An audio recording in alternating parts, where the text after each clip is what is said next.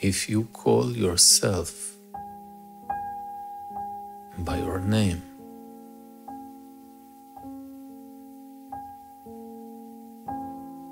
Who is calling?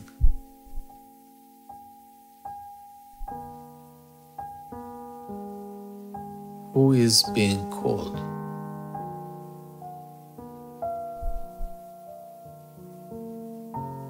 Who are you calling to?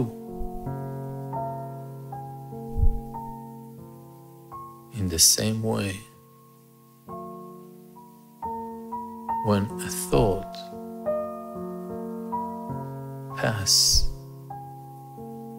in your sky, in your mind,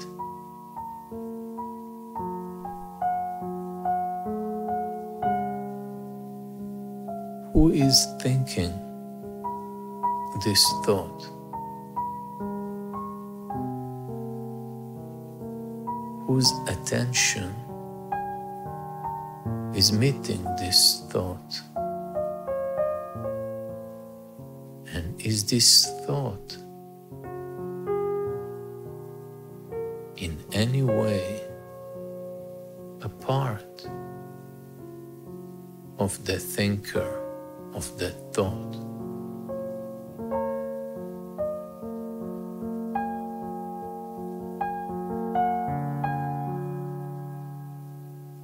We were told as a pointer the thinker is the thought.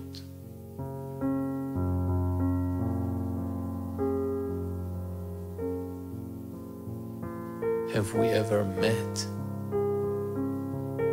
this in us?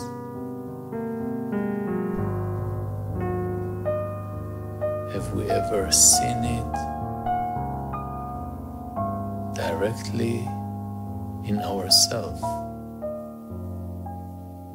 Did we come truly to acknowledge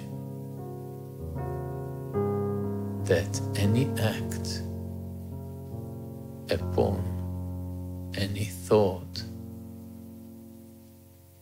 is thinking?